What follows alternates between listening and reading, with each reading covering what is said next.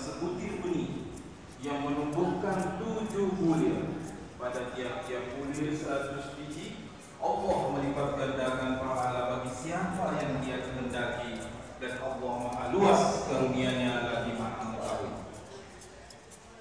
Para jemaah Jumat yang berbahagia hari ini masih Istiqlal mendapat sedekah jariah dari Ustaz Yusuf Mansur sebesar 10 juta rupiah.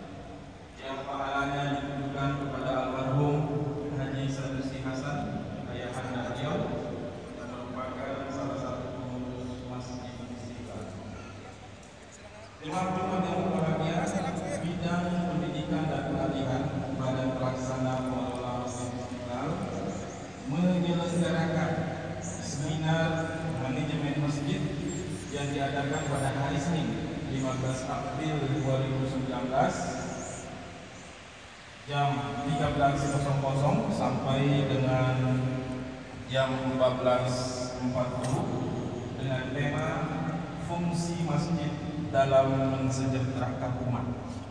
Pembicara yang pertama Dirjen Bimas Islam Kementerian Agama